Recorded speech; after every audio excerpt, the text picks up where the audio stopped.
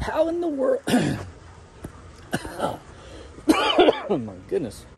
Let's try that again. Whew. Hey, how in the world are you? Mike here, Mike's Pressure Washing, Trenton, Ohio. It is Thursday. It's flipping cold. It's 30 degrees, and I'm preparing the rig for three washes on the day. And uh, tomorrow I'm off work, and you might ask, kind sir, why would you take off on a warm day and work on a cold day? Shouldn't you reverse those? I thought you got into business so you could set your own agenda. Well, I can, okay? So let me answer that question. When I'm off work, I want it to be nice outside. So I'm going to hustle through the cold weather, the bad weather, the inclement weather, so that I don't have to wear an igloo on my day off and I can get out and enjoy some things. Are you cool with that? So it's kind of like Fun Friday for me. So, um, though it's not really Friday, I'm going to show you a few things. Winterized last night, and you can see I've got a little ice coming out of the um, unloader here. telling you, all you really have to do is look at it. I can tell there's ice. You can't see it. There's ice right in the bottom of that. All you got to do is pull the plug and the check valve, and um, and and then I pull out my whip line. whip a whip line. It's fun Thursday, so that uh, so that the whip line is not frozen. Where's where are you at? See there? See? See there? It's not frozen. So there you have it. And then I run, I run fresh water from the house to uh, introduce warmer water. water. Good God! So, so that my valve doesn't stick. It is frozen at this moment. It will not turn. I don't want to break it. That warm water is going to, of course, thaw that and we'll be good to go. All right, I'm chasing chemical. I'm going to go find some and then wash three on the day. Stay tuned, don't go anywhere. Peace. All right, here we are at stop number one of three. Simple concrete cleaning job. Be cleaning the north side of the house. A couple of things up there. I've Worked for this couple probably three times, maybe something like that. Super, super sweet people here in Carlisle, Ohio. All right, let's get busy. Oh, real quick, I've been chasing chemical all morning. Finally found what I needed for the next several days. And because I'm conserving chemical, in particular on these jobs, I've got the dial. This is fully open. I've got it set to about halfway. So that should help me to conserve chemical. Here we go. So I'm going to pre-treat all the concrete first then I'm gonna wet this north side down. They're selling the home soon, downsizing. And so I'm just freshening things up for them. What's so interesting is that they want me to wash about that much of this side of the driveway. This is another house here, right here, and they're wanting a nice straight line about a foot and a half over. So I'm gonna give one swipe of my 18 or 19 inch whisper wash, get a nice straight line here, and uh, that should do the trick. So I'll pre-treat all the concrete, then clean this side here while this is dwelling, and uh, should be in and out.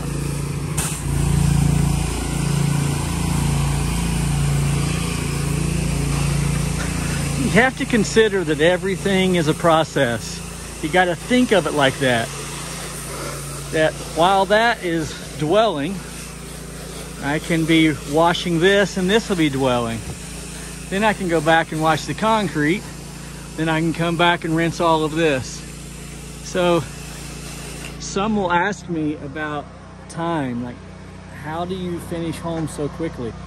I usually, usually have things well thought out and structured in my head although I rarely, almost never do an in-person visit to uh, give an estimate, I will often look on Google Earth. I usually know where the water hookup is before I ever even get there, or at least an idea. It's just those things. I, am usually washing within two to three minutes of the time that I pull up if the homeowner is not there. two to three minutes. I'm done. I mean, I'm done hooking up and I'm ready to make a YouTube video because I'm a moron. But yeah, we'll uh, we'll get busy washing this wall here. Let that dwell while we clean some concrete.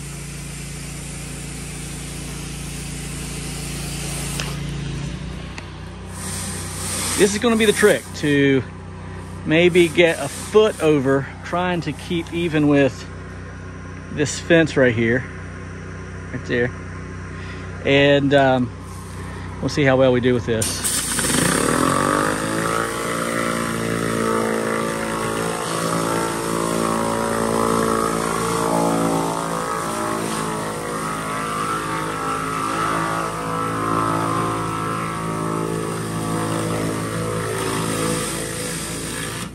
I got a little crooked.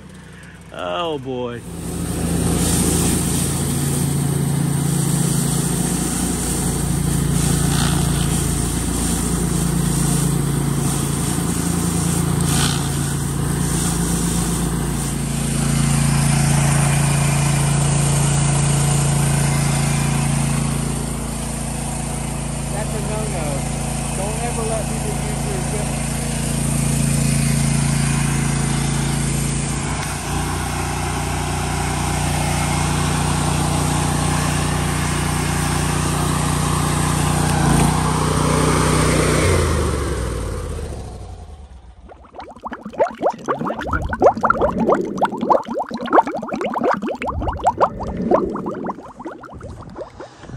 Right, here we are setting up on job number two.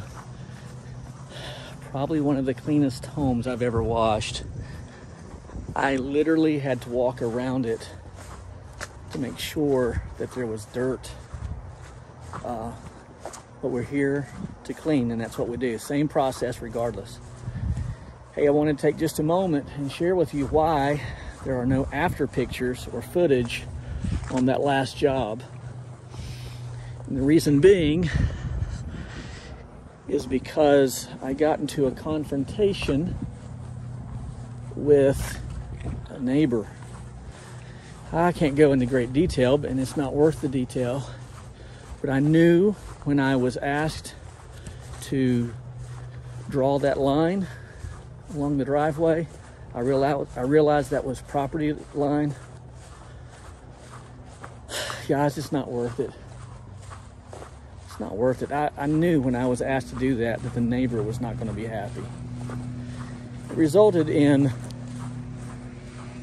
quite lengthy, um, thankfully non-physical confrontation. Dude would have broke me. I mean, I'm like, I got nothing to offer to begin with, but I get in that, I get in that zone, right where I can't like pull away, and I forget that I'm five foot six, literally, and 50 years old, and have no need. I think when when I when and if I ever get into confrontations, and there have been a few over the years, I think people just laugh. I don't think people like say, "Oh God, he's he's serious." I think it's just funny to people, and it should be. Anyhow, this is what I tell my children. Life hack from Pastor Mike. Are you ready? I tell my children. I've taught all of them this when I was teaching them to drive. If someone wants to pass you, let them pass you. The fact of the matter is, they're in a hurry. Here's the thing if they pass you within a mile or less, they've totally forgot about you and you have totally forgot about them. But if you have a confrontation, you will never forget about them. Why? Because your lawyer will constantly be reminding you. The judge will be reminding you. The police officer will be reminding you. The fine will be reminding you. The bruise on your face will be reminding you. It's not worth it. Anyways, little self uh, contemplation here, a little self reflection. I was in the wrong. I was in the wrong because I should have just walked away. All right, let's watch a house. No footage here.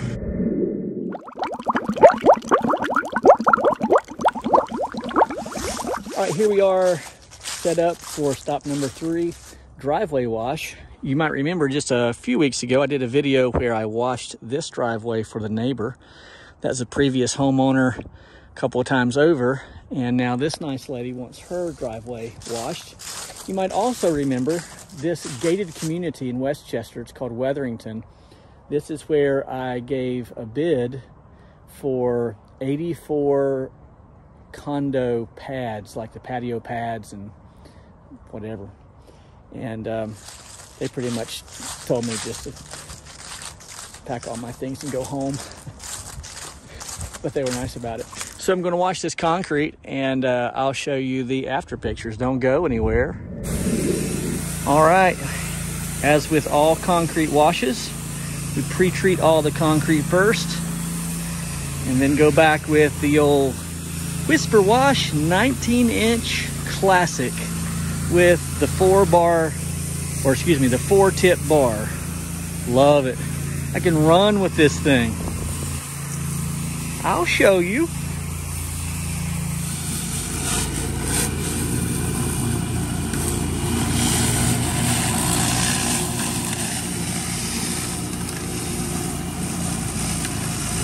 At that, baby. Going at it.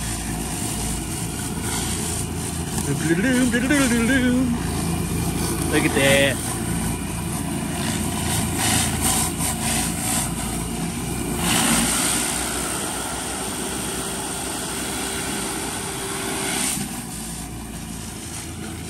Dude is off the hook. X Games mode, baby.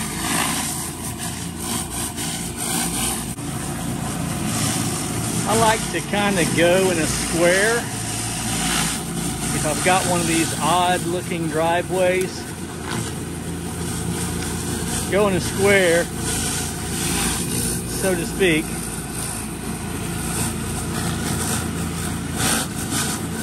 And uh, usually works out pretty good for me.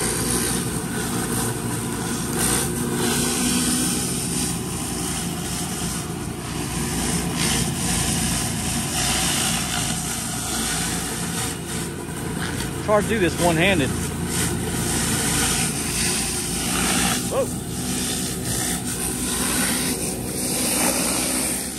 Well.